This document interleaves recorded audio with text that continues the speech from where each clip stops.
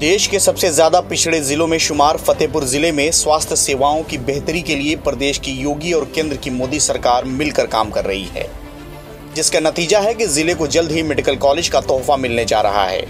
बहुत जल्द national highway पर 212 करोड़ की लागत से राजकीय मेडिकल कॉलेज का निर्माण कराया जा रहा है, जिसका लोकार्पण 15 जुलाई को प्रधानमंत्री नरेंद्र मोदी करेंगे। नेशनल हाईवे के एन पर तैयार हो रही मेडिकल कॉलेज की इस बिल्डिंग को ज़िले के 26 लाख लोगों की उम्मीद कह सकते हैं, जिन्हें इलाज के लिए महानगरों का रुख करना पड़ता था। लेकिन ज़िले में ही स्वास्थ्य की उन्नत सेवाएँ मिलें, इस ओर मेडिकल कॉलेज मील का पत्थर साबित होने जा रहा है। इतना ही नहीं, मेडिकल कॉलेज के चालू होने से ज़िले में स्वास्थ्य सेवाओं में बेहतरी तो ज़रूर आएगी।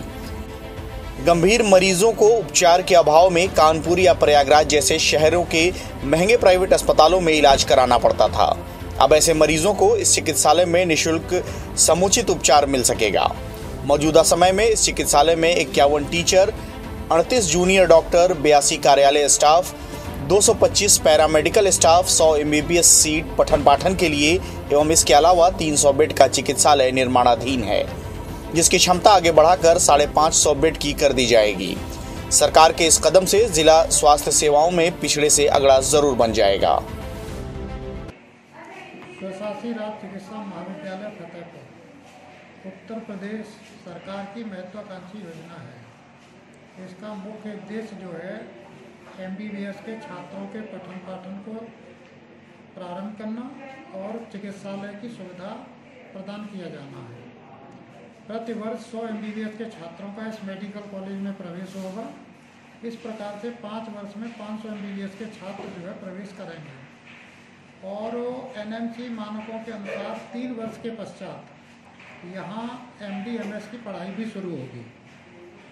चिकित्सालय के लिए 500 बेड का चिकित्सालय यहाँ प्रस्तावित है जिसका निर्माण कार्य तेज़ी से चल रहा है।